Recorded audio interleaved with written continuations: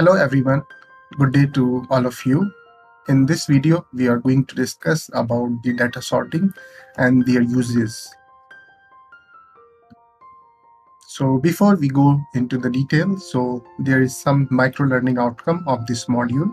So the first outcome of this module will be able, you will be able to understand the sorting.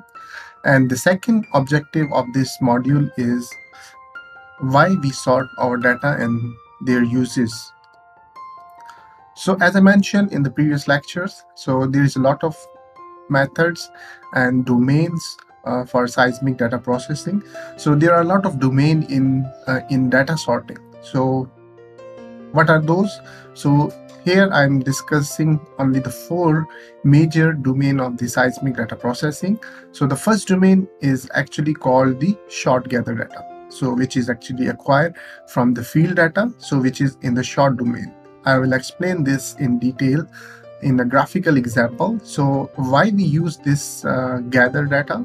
So actually it is used for reformatting uh, resampling your data set so normally it is used for pre-processing steps so amplitude recovery seismic navigation merge and trace balancing such as noise removal or static correction. But static correction can be applied to cmp domain as well so it's not essential but we can normally do uh, these type of things in shot gather domain.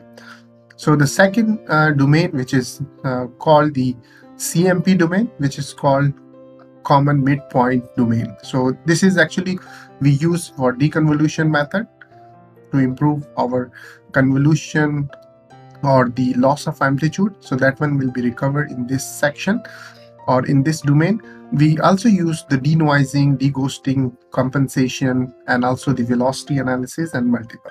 So velocity analysis is one of the important uh, chapter of the seismic data processing. So that one is done in CMP domain. So after that, we have the offset domain. So the offset domain is also very essential. Normally when we are looking at the uh, amplitude versus offset. So that is, uh, we use the near offset, near, mid, and far offset, or either we have the angle stack. So offset stack and angle stack is uh, is quite similar, and that one is also done for interactive velocity analysis uh, and also migration and muting of the data. So the another uh, domain of the seismic data is the stack domain. So after we done all the processing, normally we do stacking or either we do the stacking in the field. So just look at the first impression of the subsurface and to improve our acquisition parameter. So that is the steps which we use for seismic uh, processing. So also we use uh, for time variant filters, uh, velocity analysis, post-stack processing, attribute analysis, and also AVO in. So now I will show you one of the uh, graphical example of this uh, domain. So the first one we discuss about the shot gather. So shot gather is actually with respect to this shot. So let's say we have the shot here, we fire a shot, then there is multiple receiver. So here I'm choosing only five receiver. So all the waves goes into the subsurface and hit to this reflector and come back to receive to the receiver or the geophone in case of land and hydrophone in case of marine so all the gather with respect to this short short point is called shot gather. So the second one is a common midpoint gather. So each point have a common midpoint. So the midpoint is actually the middle point from from the source or receiver. It's normally for the reflector, flat reflector, but in case of the dipping reflector, it's different. So all the all the uh, gather or the traces which is with respect to this point. So let's say in subsurface, we have CDP or CMP. So this all related to the traces are from this point is called the common midpoint gather. Then we have the common receiver gather. Common receiver gather and shot gather is also similar and used for the same purpose. So let's say we have this receiver and we had the multiple shot here. So the all multiple shots will be all the traces coming to this receiver is called the common receiver gather. Then we have the common offset gather. So offset mean with respect to, I mean the this is let's say near offset, then this is far offset, this is mid offset. So all the all the traces which is recorded at the near offset, so we, that will call the offset gather. So now we look at the uh, types of gathers and their various type. So uh, the various type of gather which can be constructed by the sorting traces from CMP acquisition techniques. So also we have the data sorting change the domain of the data uh, from, for example, from CMP domain to offset domain. So it is applicable if we have the shot gather, so we can change it to CMP gather. So either uh, other way around. So each trace will be assigned a series of identifiers. Let's say it will be assigned a short record number, receiver number, as well as the offset number. So during the acquisition and which will be used in sorting of the data. So let's say we have the short number, receiver number, trace number, or the short number. And also we will have the source receiver offset. So that one I, I already mentioned. So uh, whatever the processing sequence, the sort of these uh, short or CMP gather must always be applied before stacking. So let's look at the at the record. How does it record it in, in, at the at the field recording station? So let's say if we uh, we are talking about the common shot gather so let's say this is your short and th these are the different receiver. So all the traces related or the uh, assigned to this short is will be recorded here. So this is the near and this is the far offset so you will see a hyperbole hyperbola like this. If we are looking at the common receiver gather so all the receivers all the traces which is with respect to this receivers will be recorded. So this is like a mirror image. So let's say you have the source here and receiver here or other way around so it will be looks like this one. Then we have the common offset gather. So let's say if we are taking only the near offset gathers. So let's say this is all in the same offset then this will be recorded in a flat form. Actually this is the near offset altogether. Then the common midpoint. So as i mentioned the the traces which is with respect to this point which is over here. So that one will be uh, recorded as a common receiver gather and lastly we have the common depth point. So as i mentioned common midpoint and common depth point is a different term. So in case of dipping reflectors uh, we have the normally the common depth point. So another thing, if, if you want to look at closely to the dipping reflector, so here we can see uh, this is in case of the flat reflector. So in, in this case, our all the traces or the midpoint is exactly at the middle, which is the blue point. But if you look at this one, which is in case of dipping reflect, so your CMP is not actually at the blue point over here because it's got, got wrong. But if in this case, all the all the traces which will be assigned to this uh, depth point, which is called the CDP gather.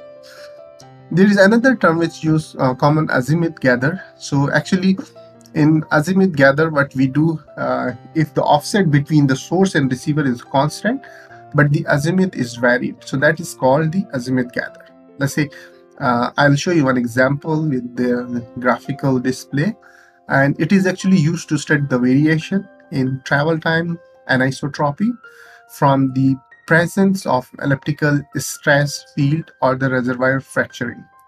So in case of uh, fracture reservoir or in case of anisotropic uh, behavior of the subsurface, then we use the azimuth gather. And this is the fast, fast and slow travel time.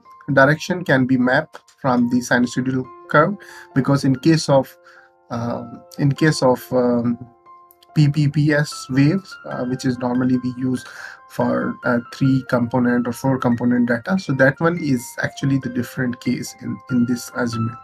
So also it can be used uh, as a pre-stack data quality indicator. Then another term which we or the gathers which we use is a common image point gather. So it is actually sophisticated sorting that takes dipping reflectors geometry. So normally if we have the uh, dipping reflectors or you have the highly faulted zone in the subsurface. So in that case, normally we use uh, this common image point gather. So uh, actually it is not doing so can uh, because a misposition event like poor imaging or unfocused reflection. So if uh, it is also in the case of dipping reflector. So in case of In, in this case, a priori information about the subsurface, usually a velocity model, uh, must be applied with the shot gather geometry in order to construct this type of gather. So which is called the common depth point uh, is another term for this common image point. So normally when we are using uh, this common image point, so it is actually coming from the subsurface, not the CDP or CM, CMP.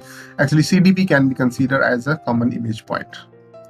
So over here I am giving you one example, graphical example. So here you can see uh, this is actually called the common azimuth. So because it is going in one direction. So when the angle is actually counted with respect to your acquisition geometry. So in this case, you have the short here, then again short here. So it's moving like in a coil shape. So like if you have the zero degree, then it's uh, again coming to 180 degree. So all the data which is recorded, so it's also moving to other side. So we have the traces from zero degree azimuth, then 360. So it's covering all the direction. So this type of survey is normally done when we have the anisotropic effect or very complex structure which gives the different dimension let's say if you have the salt body deposit and it's very uh, complicated then you have to use the azimuth gather variable azimuth to image the subsurface data so then uh, uh, another uh, term which we use the fold uh, normally the fold in geology is a different but in seismic the fold is actually how many times a CMP point is hit by a wave. So if you have number of fold higher, then you have the better imaging possibility. So there is a formula for calculating the fold. So the fold is equal to 1 over 2 into C. C is actually your channel, number of channel. Then delta X is your uh, interval divided by delta R, which is your receiver group interval then into delta x which is again Pickett interval and delta s is your source interval so here are some examples uh, which is already given and with respect to the fold so let's say if you have the short spacing 18.75 then receiver interval is 12.5 and cmp spacing is 6.5 because it's the half of this one. So then your fold will be 80 and the maximum recording length which is the depth or it's called in, in normally when we have to calculate in time so uh, it is 4.5 second so let's say you have the high fold but your time is very low so once you increase the number of um, short spacing and receiver spacing uh, still the same but your CMP is, uh, is also same, then you have the fold less because your short spacing is increasing. It's double than this one. This is one and a half than this one. So the fold is actually directly proportional to the spacing of the short receivers as well as the CMP obviously. And also the recording of the event will be more uh, for, for this one. So let's say if we have the 50 meter short spacing receiver is 25, which is half, and CMP is half of this one, then your fold is 30. So then you will have the 20 second of data. So that's all today for today for this uh, module. So I hope you will continue uh, looking into the other module. Thank you so much and have a good day.